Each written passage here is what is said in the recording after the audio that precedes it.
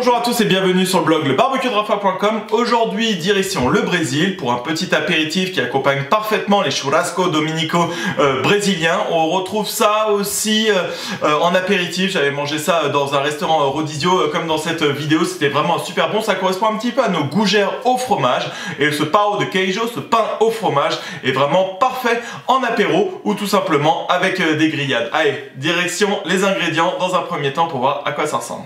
Pour la liste des ingrédients, on commence avec 50 g de lait, 60 g d'huile, 50 g d'eau, un œuf, une cuillère à café de sel, 50 g de parmesan, 200 g de mozzarella et 250 g de fécule de manioc que l'on appelle également tapioca. Prenez pas des perles du Japon, ça ne fonctionne pas, donc prenez vraiment ça. Aujourd'hui, on va cuisiner sur le Masterbuilt Gravity 800. Donc dans un premier temps, je secoue un petit peu au niveau euh, du bac à cendres pour enlever euh, toutes les cendres pour qu'il y ait vraiment le charbon euh, bien noir. Je viens insérer deux allumes-feu que je laisse allumer.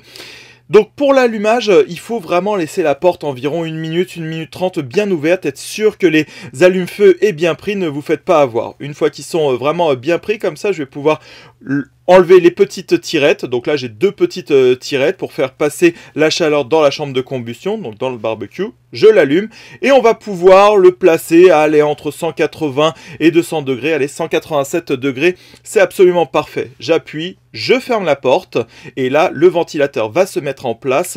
Tout simplement, vous allez voir, je lance euh, l'application et euh, vous allez voir en combien de temps ça vient à température. Pendant ce temps-là, je viens mettre tous les liquides dans une casserole, donc l'eau, le lait, l'huile d'olive. Et pendant que ça bouge, juste pendant que ça frémit, on mélange bien. J'en profite pour vous rappeler mes réseaux sociaux. Venez liker ma page Facebook, mon compte Instagram et abonnez-vous à ma chaîne YouTube. Si vous avez la moindre question, n'hésitez pas à venir sur le groupe Barbecue et vous que j'ai créé avec Stéphane et Rohan. On est vraiment des milliers à pouvoir répondre à vos questions. Vous pouvez nous montrer ce que vous savez faire. On continue notre recette de pao de queijo. On vient mélanger du coup les liquides à la farine, euh, à la fécule de manioc.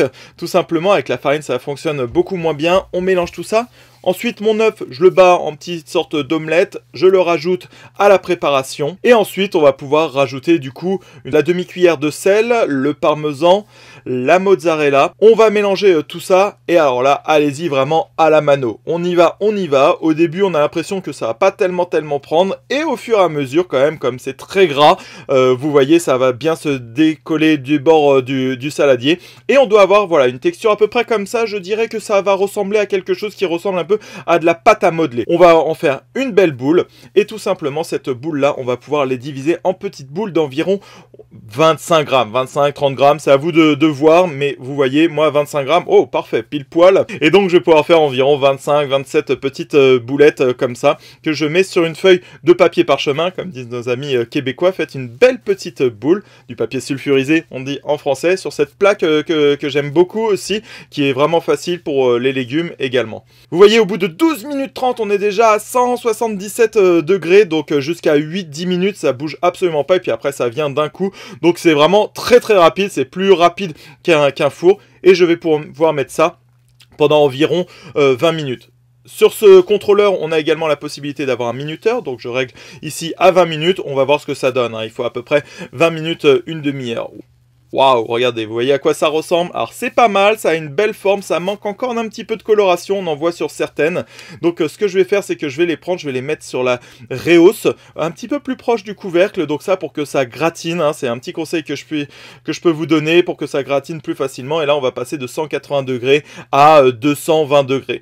Là en deux minutes on va atteindre les 220 degrés. Et regardez, je prolonge la cuisson de 5 minutes environ, voilà, parfait. Vous voyez, ça c'est exactement ce que je veux avec des petites pointes euh, euh, brunâtres. Donc là, ça m'a pris 25-28 euh, minutes. Et ça, c'est absolument parfait. C'est ce que l'on veut pour ces petits pao de queijo. Et pour éteindre le barbecue, c'est très simple. J'appuie 3 secondes sur le contrôleur. Je rentre les deux petites tirettes et je vais pouvoir réutiliser le charbon pour la prochaine fois. C'est super. Je mets ces petits pao de queijo sur une grille et c'est hyper bon, hyper fondant. Comme vous voyez, c'est très filant et c'est encore meilleur tiède comme ça pour accompagner toutes vos recettes de barbecue. Et pour tout toujours plus de recettes, de tutos qui changent des saucisses et des brochettes au barbecue, rejoins ma communauté de fans de barbecue sur ma page Facebook, viens liker et abonne-toi à ma chaîne YouTube. Allez, on se retrouve bientôt.